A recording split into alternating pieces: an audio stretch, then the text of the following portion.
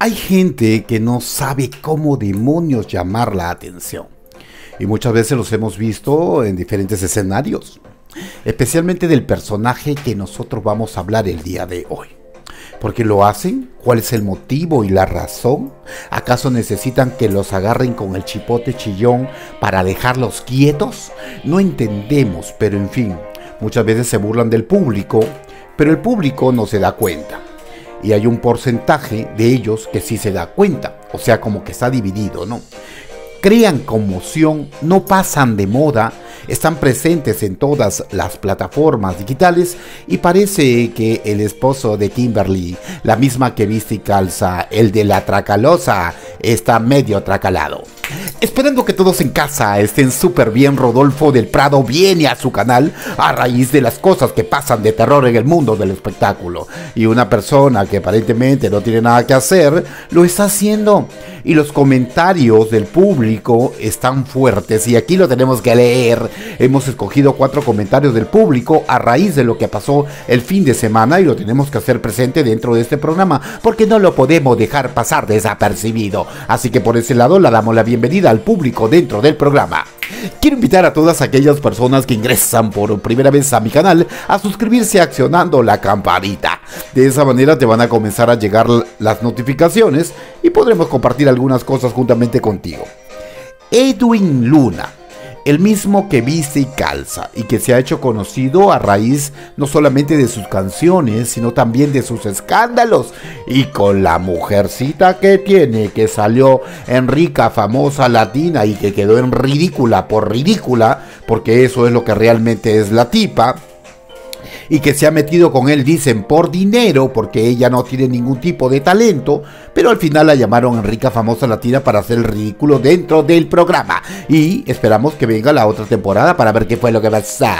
También quiero decirle al público que su comentario importa, al igual que su like. Y el día de hoy queremos mandar saludos. Por supuesto que si mandamos un saludo fraternal a nuestra amada y queridísima Rachel Villagómez, que siempre está dentro del programa y que obviamente ella, pues juntamente con sus animalitos y María Hernández, que también es otra moderadora dentro del programa, se juntan las dos para comenzar a criar a todos los animalitos del bosque y de esa manera llevarles comidita.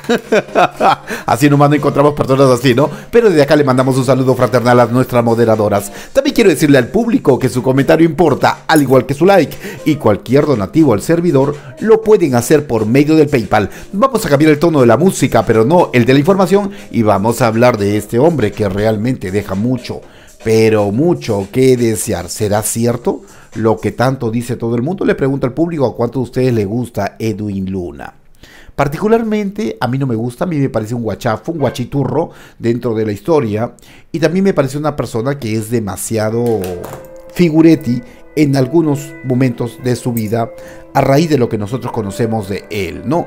También salió en Rica Famosa Latina en algunas de las imágenes que nos mostró el canal de Estrella TV.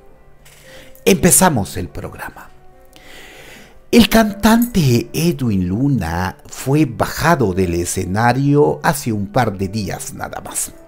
Y según dicen que hubo presencia de personas armadas dentro del recinto él se fue a Washington y estuvo cantando allí, pues, y en pleno concierto lo bajaron del escenario el sheriff. Según era el sheriff, pero yo nunca me había visto, la verdad, un policía, porque dicen que es el sheriff, así con ese cuerpo y con esas características. Más que todo parecía pues el gordo que vende carne en la esquina del puesto de tu barrio y que no tiene nada que hacer y que por eso se engordó de la forma que se engordó. Entonces yo no sé cómo pusieron a un seguridad que puede respaldar a alguien con esas características, pero ¿qué se puede, qué se puede decir al respecto, no? Entonces solamente cantó cuatro canciones. Había gente allá adentro que lo estaba amenazando.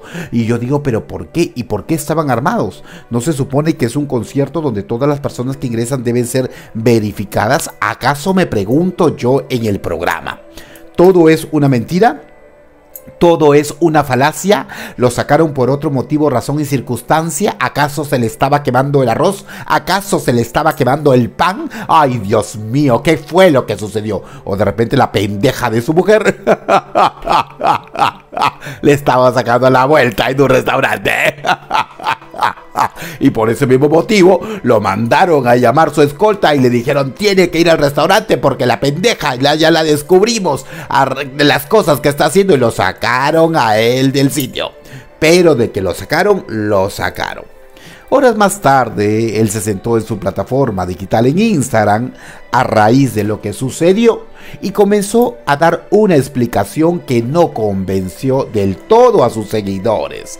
Y sus seguidores, que siempre están en todas y que tampoco no se dejan pisar el poncho, le comenzaron a reclamar dentro de las redes sociales porque habían pagado una entrada para verlo y al final el otro se había largado como, como si hubiera visto una rata de ese tamaño. Ay, Dios mío, Cristo, no quiero imaginarme si realmente hubiera visto la rata. Pero los comentarios no, que no quedaron desapercibidos para Rodolfo del Prado y aquí se los voy a comentar. Ustedes saben que yo siempre cojo los comentarios más payasescos y más chistosos y más sarcásticos de lo que le dejan la gente a los famosos dentro de sus plataformas digitales. Y hubo uno que me llamó poderosamente la atención. La verdad que fueron cuatro y fueron los que no, no habían peores, pero yo cogí lo que era más o menos, ¿no? Ustedes saben ya a lo que me estoy refiriendo.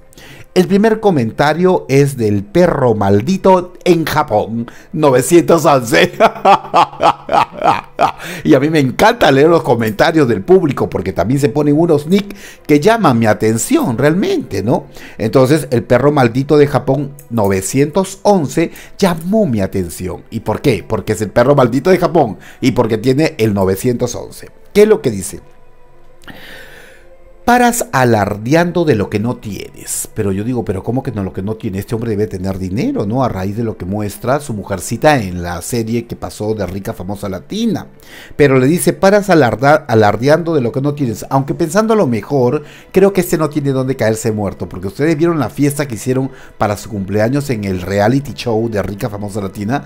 Era una fiesta de gente naca. Era una, una fiesta de gente mal vestida. Yo lo critiqué dentro de este programa. Y él también también estaba hecho un guachiturro dentro de la historia. La guachafería hecha realidad. Entonces la gente le dice, alardeas de lo que no tienes. Ahora nos quieres hacer creer el cuento que te quieren secuestrar o quieren atentar contra ti. O sea que esto puede ser falso, nos preguntamos dentro del programa. ¿Para qué?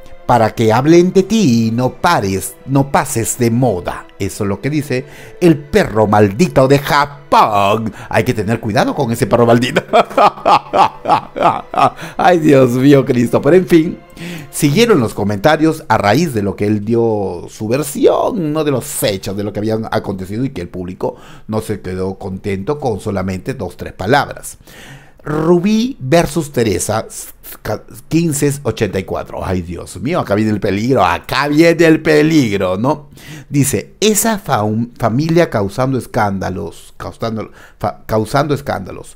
Tu mujer, la putipuerca, porque así le pusieron de su mujer, la putipuerca. Ay, la gente es tan sabia. A raíz de lo que la, mujer ha mostrado, ¿no?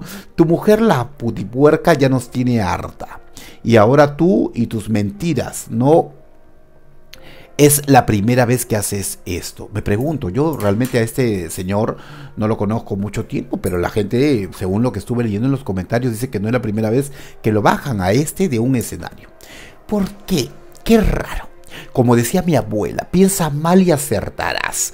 ¿Quién sabe? Este está metido en cosas realmente del tercer tipo. No lo sabemos, pero ahí lo vemos al final, ¿no?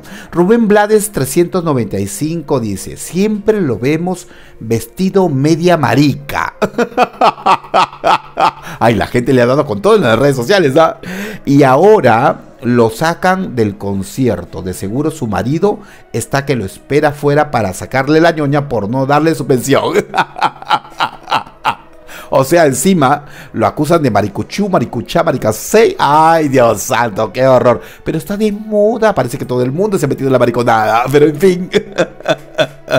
Berta la cachonda, 69. Seguro que le dijeron, esto está interesante, ¿no? Se, Berta la Cachonda 69, ¿se imaginan ese nick? Ah, ya saben, ¿no? Dice, de seguro le dijeron que su mujer está agarrándole los huérfanos al chofer.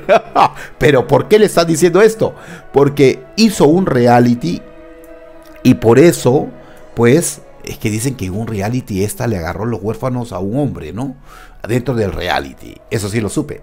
Y que después él fue con toda su escolta, con toda su seguridad y la sacó a la mujer por pendejereta. Ahora entiendo por qué le están diciendo la putipuerca.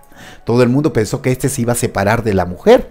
Ahora entendemos por qué Rubí versus Teresa 1584 le dice la putipuerca. Y le dice la putipuerca a raíz de algo que había acontecido hace un tiempo atrás dentro de un reality donde él fue con toda su escolta de seguridad para sacarla porque esta le había estado agarrando los huevos a otro, ¿no? Ay, qué horror seguramente que le llamó a la atención el tamaño del, del, del pagarraco del otro. Ay, Dios mío, ¿no? Pancho Fierro que todo lo tiene Fierro 11. Ay, qué chévere. Dice, pero de repente este Pancho Fierro fue el que trabajó en el reality. Ay, no lo sabemos, pero es que todo se puede dar a raíz de lo que ya sabemos. Dice, quiere causar conmoción así como lo hizo su mujer. al darle, al no darle la propina correcta al mozo y haciendo el ridículo dentro de las plataformas digitales para que todo el mundo hable de ellos. Y es verdad, Muchas veces ese tipo de cosas que nosotros vemos dentro de las redes sociales a raíz de que los famosos quieren causar una especie de conmoción, pues generan ese tipo de cosas y salen del concierto. Lo, lo más decente que una persona puede hacer en este tipo de casos es devolver la entrada para que de esa manera el público no se sienta burlado ¿no? por estos cantantes. Ahora, ¿por qué se salió del concierto? ¿Acaso, me pregunto en el programa, estás metido en cosas turbias y por ese mismo motivo la gente entra armada a un concierto. ¿Con qué intención una persona puede entrar armada a un concierto? Que no me digas que va a comenzar a jugar a los ladrones allá adentro, ¿no? Es por algún motivo, alguna razón y alguna circunstancia. Me imagino que dentro del concierto deben de haber cámaras. Entonces, para que la policía, el sheriff y la seguridad y todo el mundo haya subido, es porque las cámaras tienen que tener grabado a estos personajes. Pero qué raro, hasta el día de hoy no ha mostrado ninguna imagen y ahora los conciertos tienen cámaras. ¿Y qué pasó con él? ¿Acaso digo yo lo amenazaron sus amigos turbios?